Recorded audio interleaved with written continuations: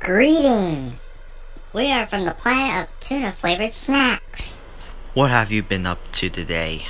Oh, just saving planet Earth. Uh, that's all.